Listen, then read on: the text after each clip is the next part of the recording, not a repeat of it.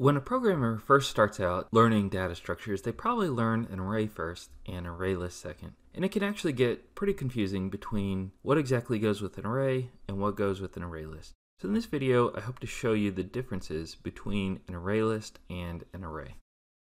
So let's start talking about the differences between an array and array list by starting at the beginning or creation of arrays and array lists, and that is instantiation.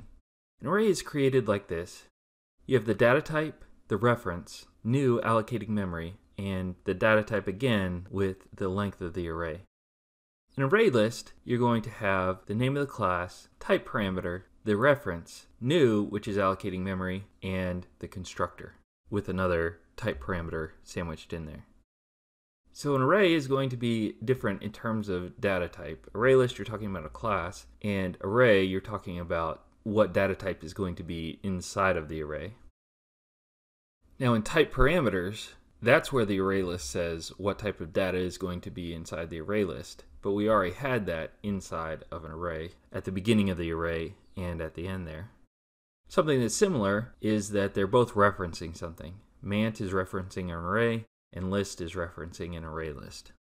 Another similarity is the keyword new it's both saying, hey, I need memory for either the array list or the array. And then finally, we have the length of the array at the top there is 10, and then usually you don't put anything inside of the constructor inside of an array list. You could put the capacity there, and that would set the capacity of the array list, but it wouldn't set the size of the array list. So those are really the differences in the creation of both an array and an array list. So the next difference that I want to talk about is in terms of primitives. And if we look at the top there, that array is already holding primitives in it, int primitives to be exact, which are of the integer type. But if we tried to do the same thing with an array list, and we tried to store primitives inside of an array list, it wouldn't work. Because array lists cannot hold primitives, they can only hold objects. And that's one of the reasons why Java has a corresponding wrapper class to every primitive because the wrapper class is an object that wraps around a primitive. Since we just got done talking about primitives, let's talk about objects. So we know that an array list can hold objects. In fact, it can only hold objects. What about arrays? If I tried to put integers inside an array, yes, it would work just fine. So primitives can be stored in arrays, but not in array lists, but objects can be stored in both arrays and array lists. So now let's talk about generics. And generics is the means by which array lists are able to specify the type of data that's going to go into the array list. So we know that array lists can use generics. What about arrays? So if I were to add a type parameter inside of an array, it would not work. So generics only work with array lists. And we can see that in our nice little chart there. Array no, array list yes. So arrays and array list have different ways of measuring their length. So let's look at array list first. I've created an array list called list, added one value to it, and so this is what it would look like visually. And then if we were to output their size and capacity, it would say size is 1 and capacity is 10. That's because there's one element inside of an array list, and in this case, the capacity would be 10. So size is showing how many elements are inside of there. Capacity is showing how many possible elements can be stored inside of the array list at this time. Next, we would look at the array. And after new, where it says int 10, that's going to indicate the length. So visually, an array would look like this. And if we were to print out its length using the field length or mant.length, the length would be 10 that is both the size and the total capacity of an array. So array list uses size and capacity, and array just uses length. Now let's talk about array lists and arrays in terms of how they're accessed, or how the elements inside of the array and the array list are accessed. So first let's look at the array list, and you can see here that I'm using the methods add, the overloaded add, set, and get. And of course, all of these are methods. So if you want to access something inside of an array list, you really need to use one of its methods. An array is different in that if you want to access something inside an array list, like setting the zeroth index to 5 or outputting what is in the first index, you would use those square brackets to set and pull data out of an array. So now we're going to talk about setting elements with arrays and array lists. So I've created an array list called list, and then I'm going to add 10 elements to it. And those elements are all going to be zeros, and this is what it would look like visually. Next, what I want to do is I want to set the element in the zeroth index. And I'm going to set that value to 42. And then I could do this again, saying list.set 5, comma 42, and that would set the element in the fifth index. So that's how it would work with an array list, and an array has a comparable way of setting elements inside of the array. So I'm going to create an array called mant, and this is what it would look like visually. And then if I want to do the same thing, not in the same way, but if I wanted to do the same thing of setting elements inside of an array, I could do that by saying mant sub 0 equals 42.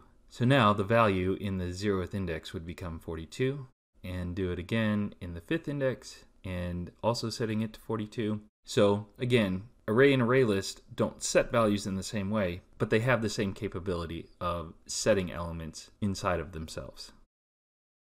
Now that we've talked about setting elements, let's talk about adding elements to arrays and array lists.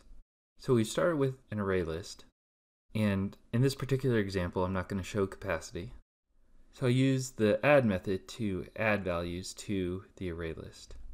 I can do this as many times as I would like, and add as many values to the end of an array list as I would like. Now if I had an array, and I wanted to add values to the end of the array, I could not do it. An array does not have a built-in way to add elements to the array. You can always change or set the values inside of the array, but you can't actually add new values to an array. So we just got done talking about adding elements, so let's talk about something closely related, and that is inserting elements. So first we're going to talk about an array list, and I've created an array list called list. And in this example, I'm not going to show capacity. So I've created a for loop to add elements inside of the array list, and I'm going to add 1 through 5 excluding 2. So this is what the array list would look like, 1, 3, 4, 5. And then if I wanted to add an element into the first index, and that element being 2, with an array list I could do it, and it would look something like this, 1, 2, 3, 4, 5. Now if I wanted to do that with an array, I could create an array but unfortunately, an array does not allow you to add new elements into an array. Now you could do it with some code, but it doesn't have a built-in way of inserting elements into an array. You have to actually write a method or some kind of code in order to insert elements. Now what about removing elements from an array and an array list? Well, let's start with array list. So I've created an array list called list, and I want you to note the capacity is hidden for this example. I am then going to write a for loop that is going to add elements 1 through 5 to the array list. So it would look something like this 1, 2, 3, 4, 5. Next, what I'm going to do is I'm going to remove the value at the second index, so that would be 3.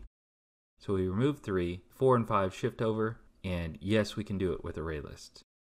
If I was going to do it with an array, I would like to, but unfortunately I can't.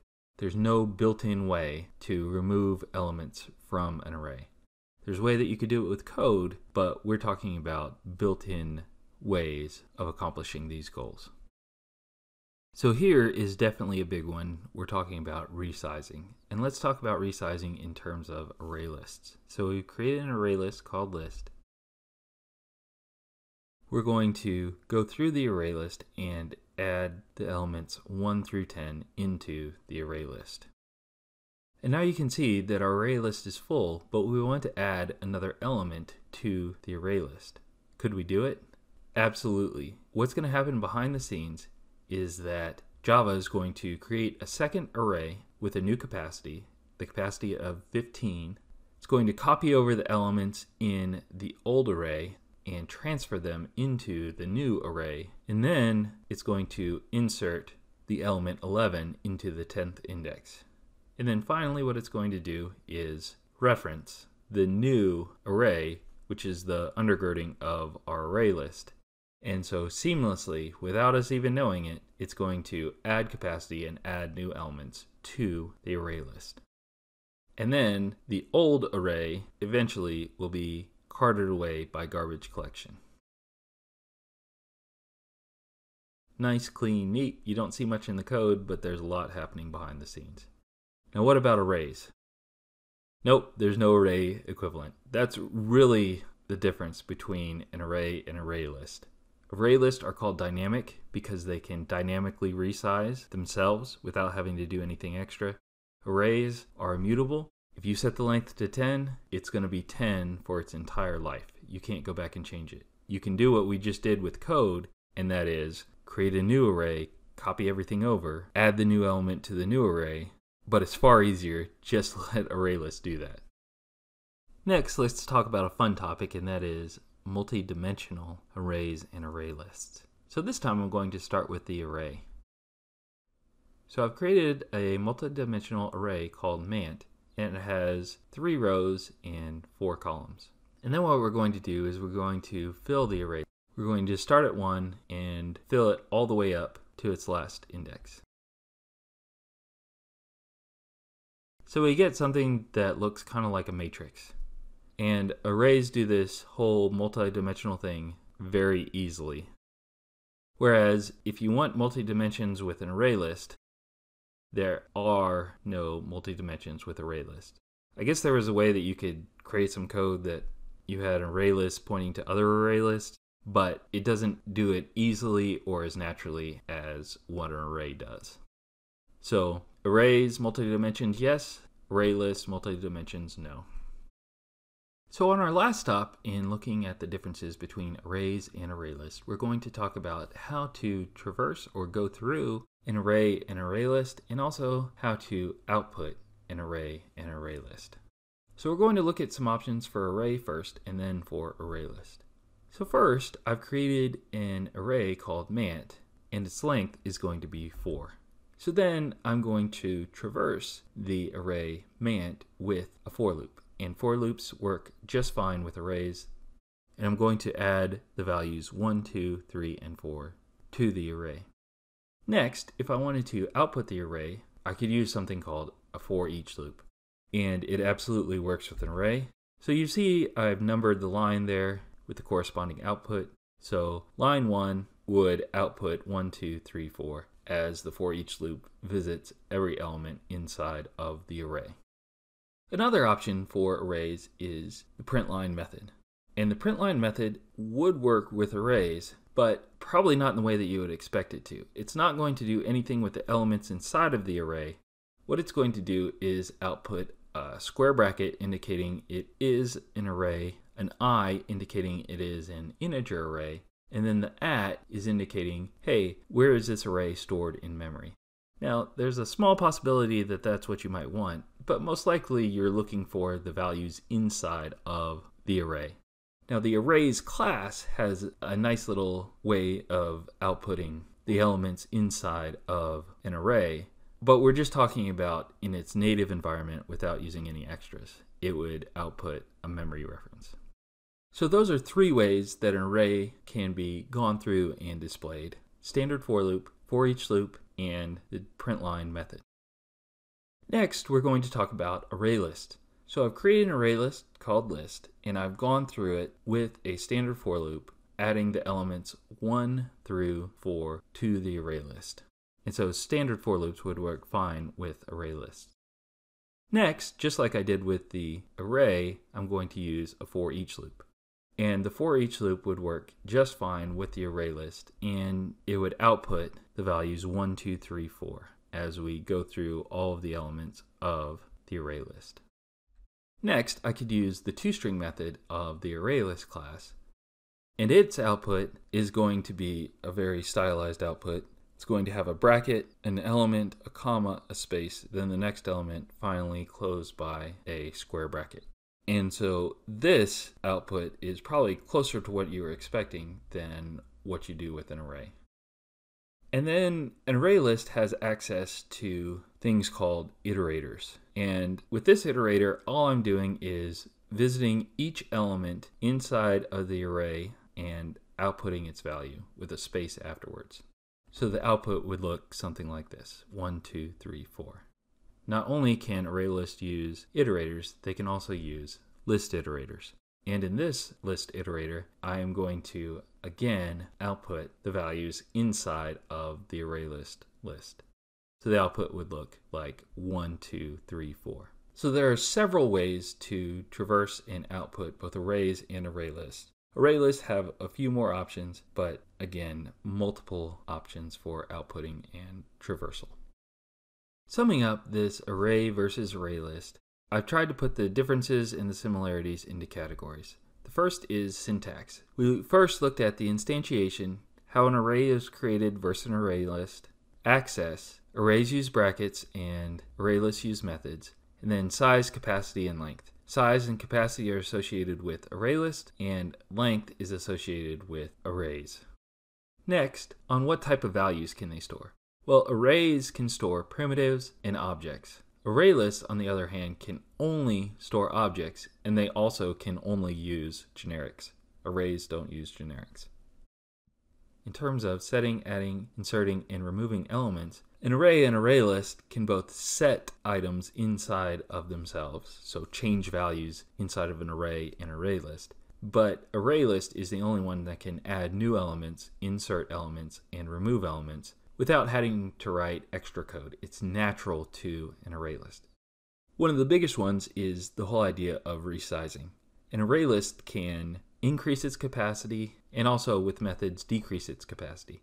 An array is immutable, and once its value is set, it cannot change. So arrays are called static, and array lists are called dynamic because of this. A place where the array really shines is multiple dimensions, because an array can have multiple dimensions, whereas an array list cannot. And then finally, we looked at how you can traverse and output an array versus array list.